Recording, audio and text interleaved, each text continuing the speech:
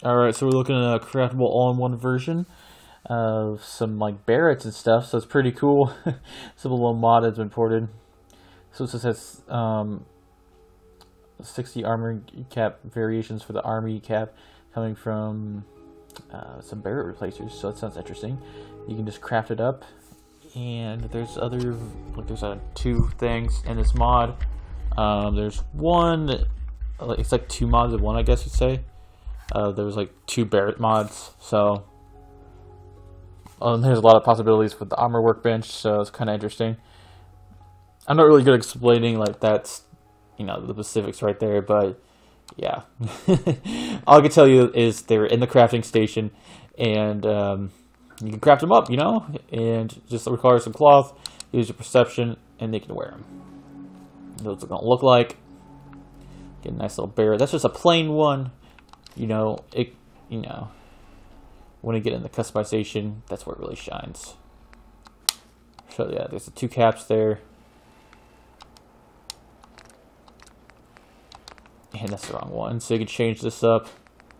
Um, so why not this? We're just gonna do random ones. Uh, NCR, that'd be cool. That's pretty awesome. So you can just change it to whatever you want, whatever faction you want.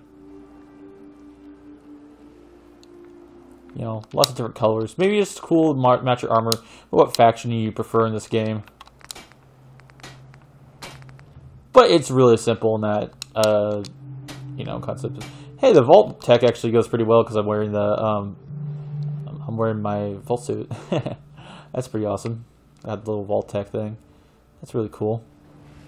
There's a little, small little uh, Vault guy in there. That's pretty cool. Wish I had better camera mods or something like that to zoom in, or on PC. Uh, but the easiest thing I just do is like this to make, give you guys a better, the best look at this. It's just to do that. It's like the best I can do. you know, the wall helps.